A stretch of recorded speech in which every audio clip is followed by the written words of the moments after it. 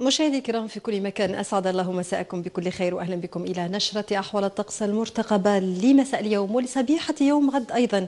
نستهلها وبإذن الله بتوقعاتنا لدرجات الحرارة الدنيا وكما نلاحظ درجات الحرارة الدنيا ستبقى مرتفعة نسبيا أو معتدلة أقول على المناطق الساحلية تنخفض نسبيا على المناطق الداخلية خاصة بالمناطق الغربية والهضاب العليا الغربية بالبيض وحتى عين صفر تصل إلى درجتان تحت الصفر. نفس المقياس تقريبا على الجلفة وعين وسالة وحتى على تبسة أو على باتنا وقسنطينة. درجة تحت الصفر لكل من سطيف وبوسعادة. أربع درجات ستخص المناطق الساحلية الوسطى بالجزائر العاصمة بومرداس وتيبازا. ست درجات لكل من وهران عين تيموشان التلمسان وحتى على سكيكدا عنبة والقالة 12 درجة. على مقياس ليلي سيكون على إليزي وإن مناس درجتان فقط. انخفاض محسوس على وسط الصحراء. بأدرار عين صالح وتيميمون أربع درجات. على شمال الصحراء غردايا المنيعة والأغواط وحتى على منطقة الواحد درجات تحت الصفر على بشار وخمس درجات على تيندو. فيما سنرتقي بثمان درجات على عين قزام وبرج باجي مختار. كان هذا بالنسبة لدرجات الحرارة الدنيا. أما عن توقعاتنا لأحوال الطقس المرتقبة لصبيحة يوم غد فبعد الصفاء ها هي الاضطرابات الجوية تشتغل الساحة كامل المناطق الساحلية والداخلية تقريبا وحتى منطقة الثورة شمال الصحراء أيضا.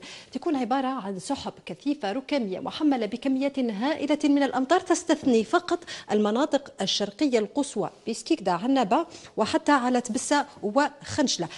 سجلنا أيضا تساقط بعض الثلوج على المناطق والمرتفعات التي يزيد علوها على 1200 متر أجواء مشمسة لباقي المناطق. أما عن توقعاتنا لدرجات الحرارة القصوى المرافقة لهذه الأجواء فستعرف هي الأخرى تراجعا محسوسا على المناطق الداخلية لتصل إلى 6 درجات على سطيف برج بوريريج وبوسعادة و14 على العاصمة. 13 على وهران وحتى على بشار.